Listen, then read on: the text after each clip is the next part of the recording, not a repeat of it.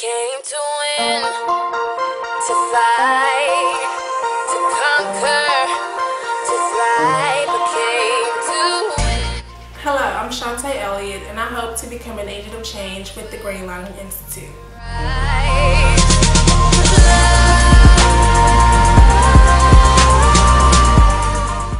My first position out of college was to serve as a presidential intern for the University of North Carolina and the Office of the President Thomas Ross. This internship experience allowed me to interact with high-level leadership, such as the University of North Carolina's Board of Governors, all of the chancellors at, for our public colleges and universities, as well as our university president, Thomas Ross. I won't ever forget my first Board of Governors meeting.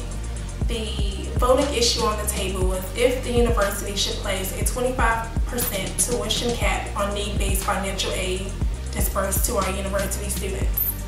For some of our students, this would not impact them in their educational experience at all. However, for our underrepresented students, our Hispanic students, our Latino students, and our Black students, this meant everything. This would determine on this would determine if some of them would graduate. If this 25% cap on need-based financial aid would have been voted in favor, that meant 70% of our students would not have received the same amount of aid. So they would not have been able to continue their college education. I've been able to help create change throughout this internship.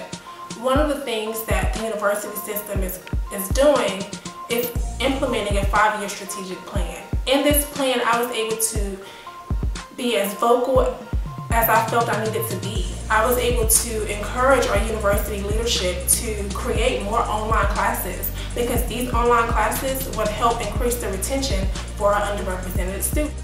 Coming to Greenlining and serving as a fellow will mean the world to me.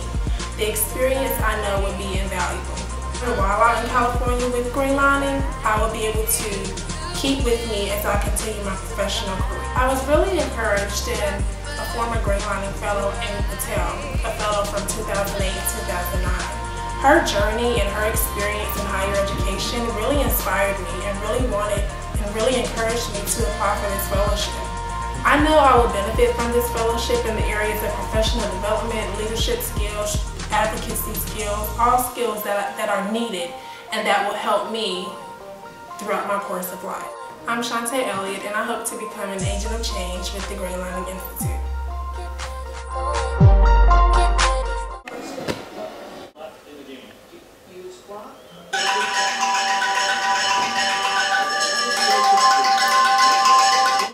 Hi, this is Shantae.